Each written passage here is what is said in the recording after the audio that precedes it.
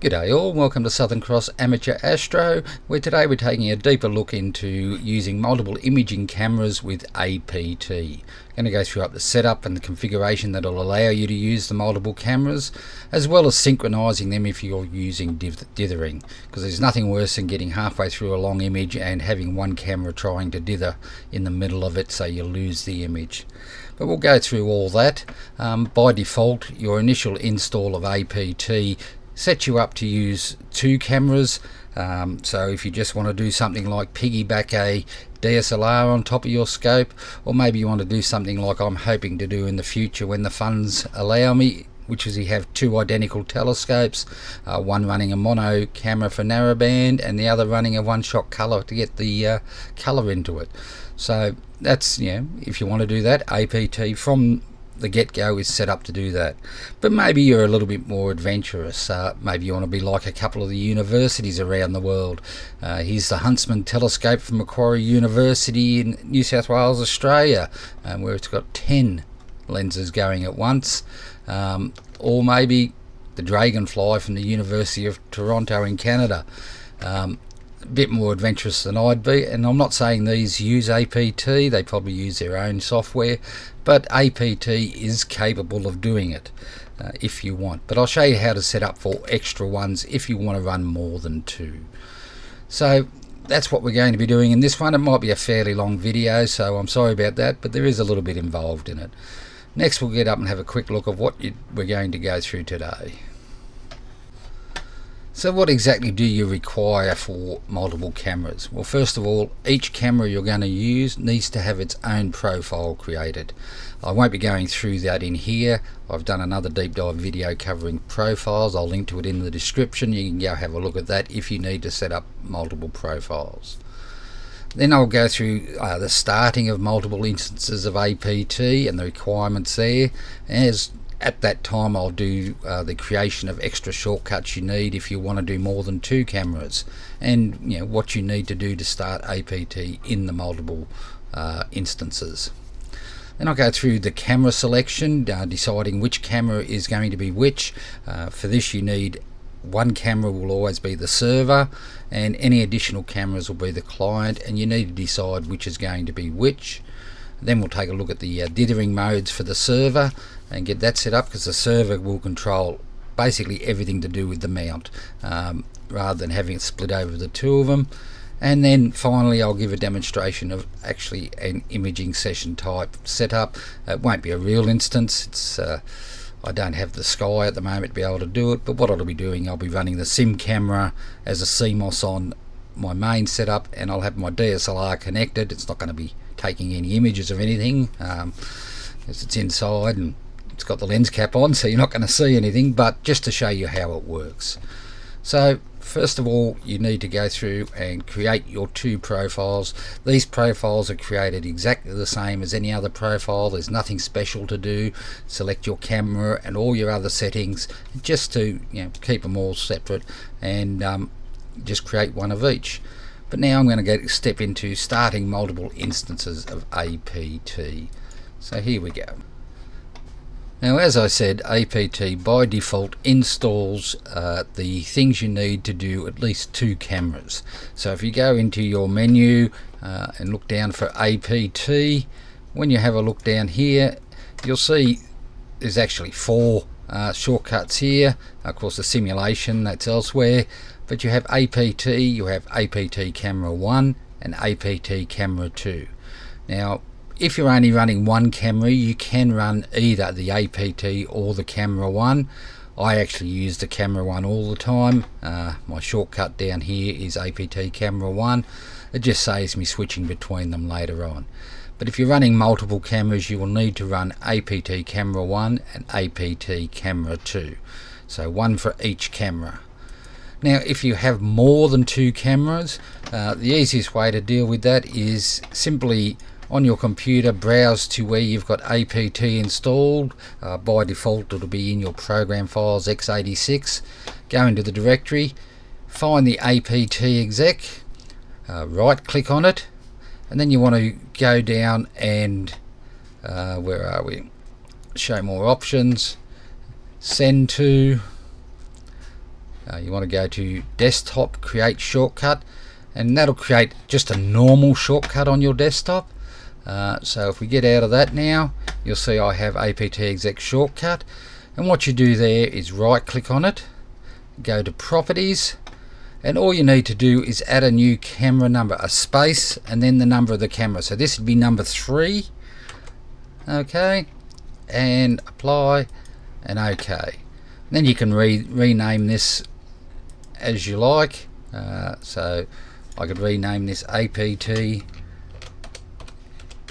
camera oops not 2 3 so there we go. And now I've created a shortcut that will start a third instance of APT and allow me to connect a third camera if I wished. But that's all you need to do there. So like I said by default APT has the setup already for two cameras.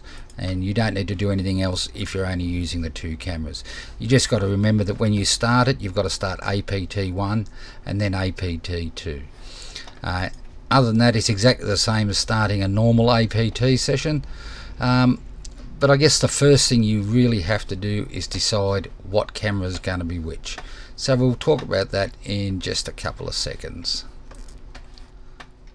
so now you've got your profile set up, you've set up the shortcuts you need if you need any extra ones and know which ones to use.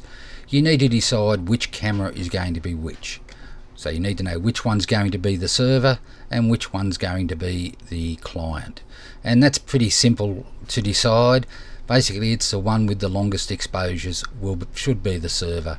Um, if they're both taking the same length exposures it doesn't really matter which is which but if you've got different length exposures uh, then you want to have the one with the longest exposures as your server and it will be the first one you launch uh, that'll be your camera one shortcut you'll use for that and then the one taking the shorter exposures the client will be your camera 2 shortcut so let's get into that and have a look how to get them configured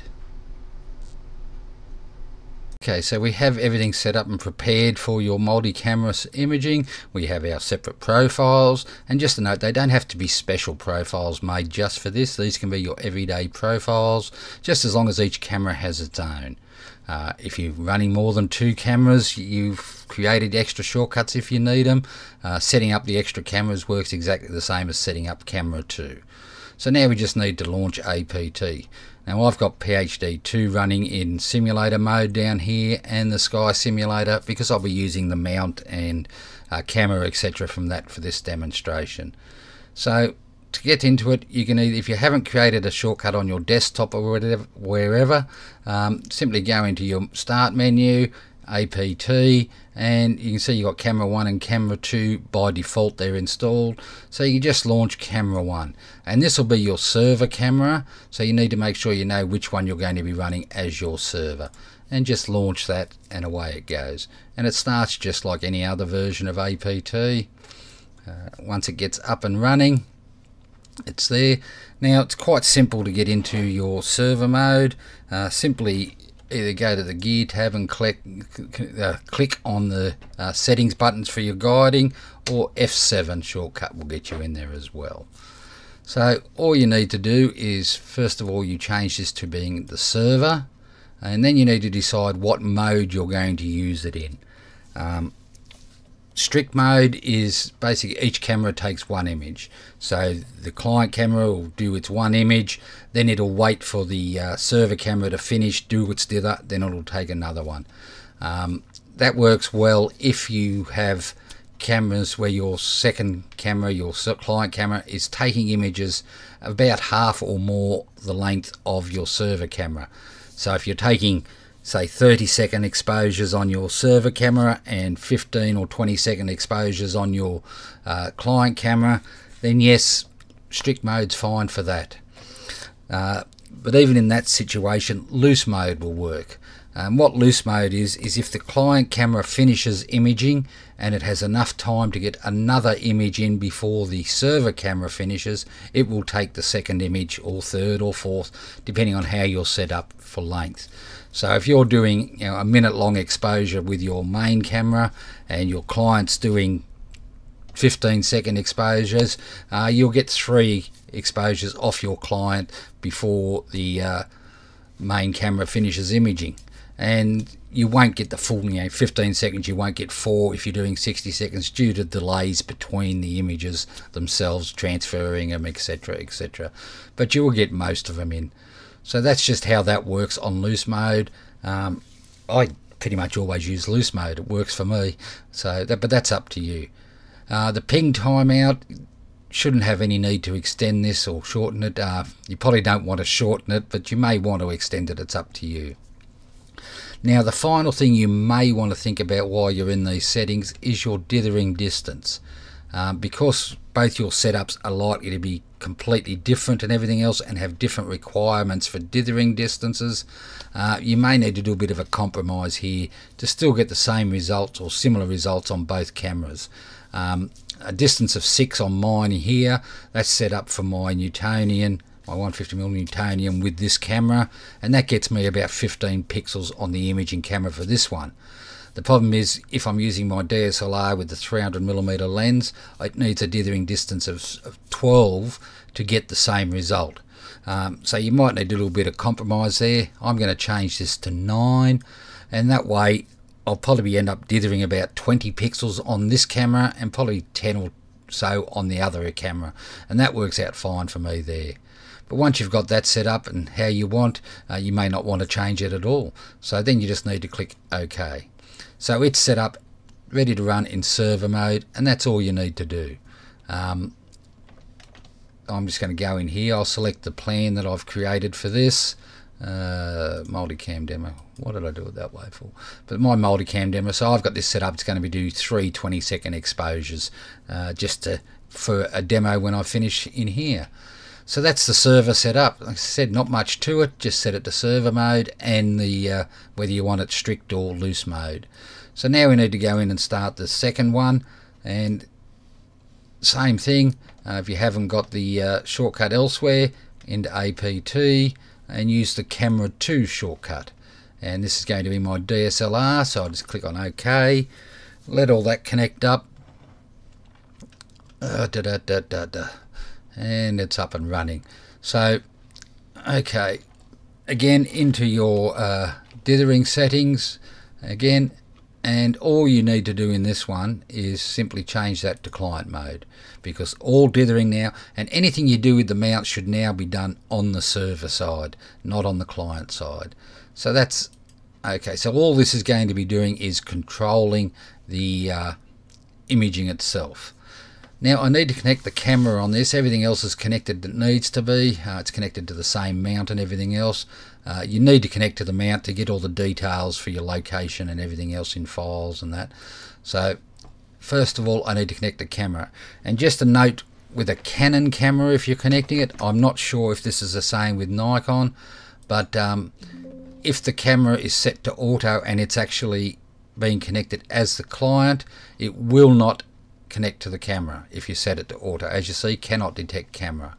Um, for some reason or other, while it's still going to come up as camera 1, because that's the way the cameras are numbered by uh, for the DSLRs, it won't automatically connect to that one. So I need to set this as camera 1. I do not know if this is the same as for uh, a Nikon camera, but if you're connecting your Canon camera as a second camera after a uh, CMOS camera, make sure you come in and select it as one, and then it'll connect with no problems. So there we go, the camera's connected. Um, while I'm in here, I'll select the plan that I've done here. As you see, five seconds exposures, and uh, I'm going to do 10 of them, so they work out about the same. It's going to be about the same distance. And that's it. That's all you need to do at the moment. Um, I'll go back into camera one. As you see incoming dithering system connection established so they're talking to each other the way they should. So I'll be back in a second to just to run through a quick demo of getting it all going. Okay so now we've been through all the steps we're up to the final part and that is to start the imaging session. And that's pretty easy to do. So straight into APT now as I said you should set everything up uh, move your mount and everything else through your um, server mode just so everything knows what's going on okay I'm going to go to objects I need to pick an object that's pretty high in the sky. Um, uh, okay, so I'll do do the uh, Tarantula Nebula. That'll do, and go to. While that's moving, now if you want to add the name in your second one um, on your camera too, you can either enter it manually or you can just use the object list anyway and, and fill it in for the details. So go to the to-do list. I'm doing Tarantula. Okay. So now that's all filled in and ready to go there. So back to the main one. Okay, it's moved. Uh, point craft. I'm going to shoot an image. Scope position. Okay, solve. Okay, that's where I want to go. And GoTo++. Oh yeah, I'll sync it. I mean, it really shouldn't go anywhere because it's showing you where the Tarantula Nebula is right in the middle here anyway. But that's just to get it right. So I'm assuming you've you know got your cameras in focus, you've polar aligned and everything else is fine like that. Um, it's just a normal setup you do. So that's done there.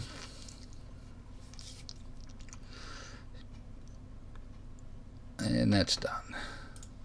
Okay so close down that. So now both cameras will be on target as long as they're both pointing in the same direction of course.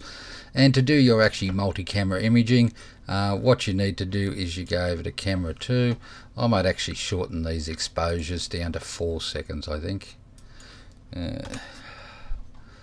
okay update current okay. So to start your multi-camera session you always start with the client uh, the one with the shorter ones. So I'm just going to click start on that, then go straight over to my main camera and click start on that.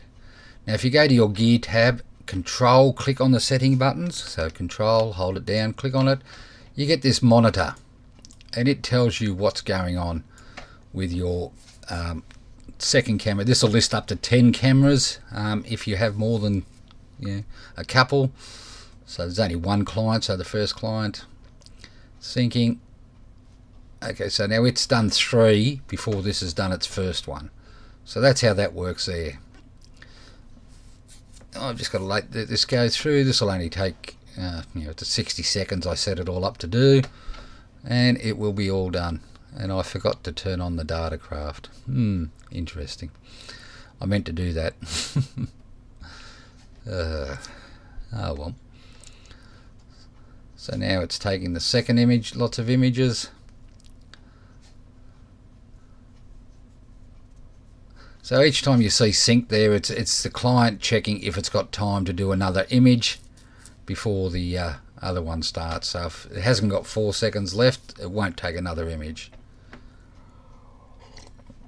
And that's why you can't do the um, full setup and expect to get the full number of images simply because of the time it takes to sync and copy files etc etc so it's waiting for the dither so it's got to wait now for a message from the main camera.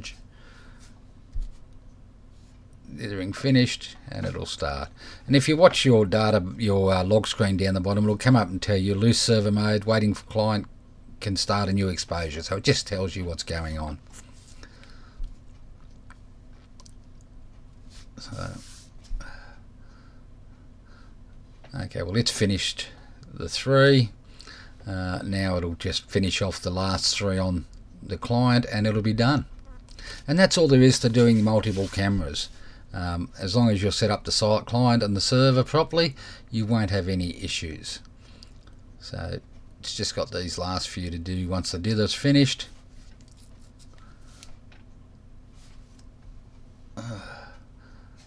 There you go. Dithering's finished and the last three will work through on your client. Now if you're using Datacraft to transfer your files, I forgot to activate it in here, uh, but I transfer them. I used to use the uh, real-time mode, but I'm just testing out now how it goes transferring it at the end of the night. It doesn't take long. Um, but make sure that all the images finishing uh, finish before you do the transfer and you will have to do the transfer from both uh, the issues uh, instances of APT but that's it. So the client's now finished uh, both finished and we're all done. Um, any questions uh, ask me later on in the uh, comments below, or better yet, uh, head over to the APT forums. There's always plenty of people over there. And then you just shut down like you do normally. I'm going to disconnect this camera and close that running of APT. Um, seeing this is all done, um, I can just close this one. I can't, I've got to turn the cooler off. what am I doing? Cooler off. Yes. So that's how it's done. Uh, just like I said, just remember to data do your Datacraft transfers from both instances before you shut down if you're using that. Uh, now I can disconnect the camera and shut that down. And that's it for uh, multi-camera operation.